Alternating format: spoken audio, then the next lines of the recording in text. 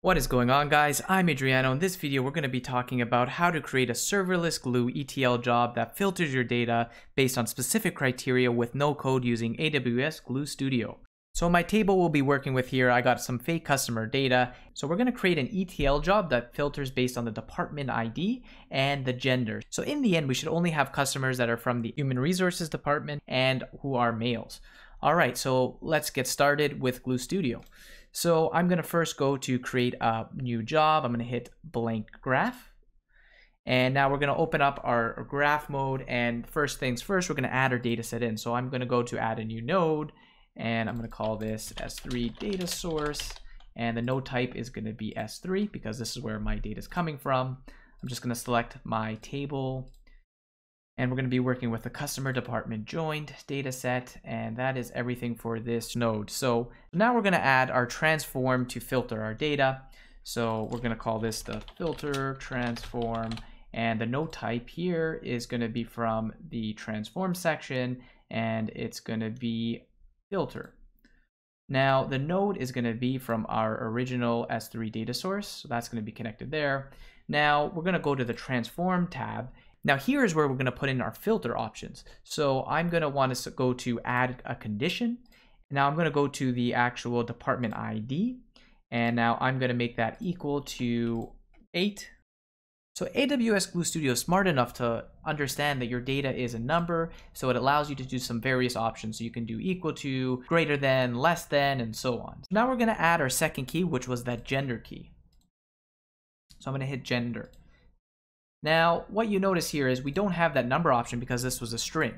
Now we're going to put in our Python 3 regular expression. So I'm going to do starts with male and ends with the dollar sign. What does this do? So if we look at our regular expression tester, with this specific regular expression, it's only going to return strings that are exactly male, regardless if male comes at the front, it's lowercase, or male is at the end of a string.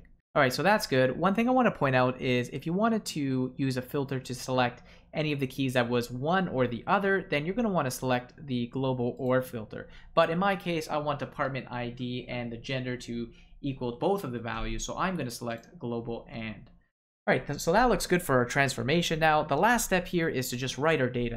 All right, so I'm going to click to add another node, and now this node is going to be target of S3 and the parent node is going to be the filter transform that we just created there.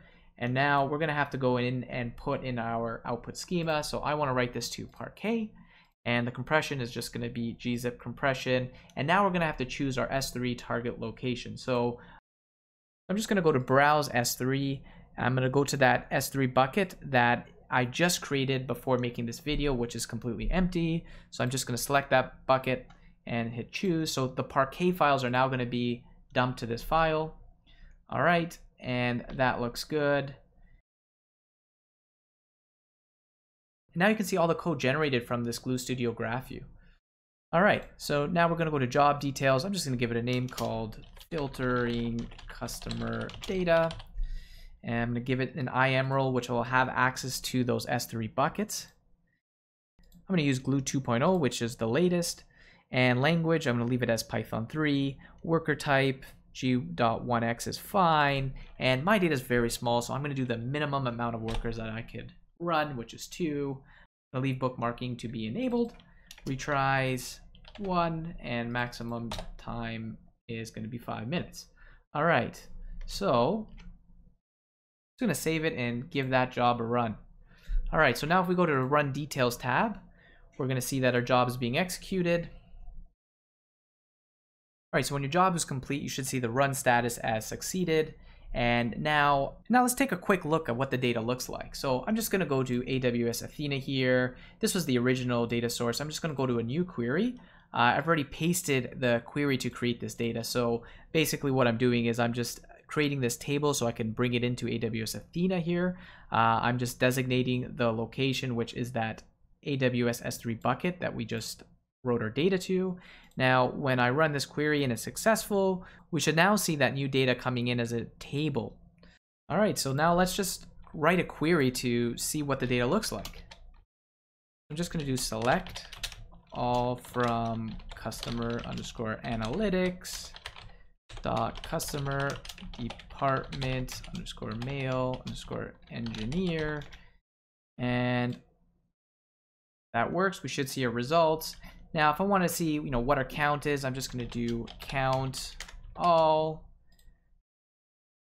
and we have 211 records that have been returned and if we do our if we look at our original data what are you going to see here we have a total of 5,000 records. So looks like our job was successful. We were able to filter out our data and now we have a new output with our specified criteria. I hope this video was helpful and you now know how to use AWS Glue Studio to create a serverless glue job that filters your data.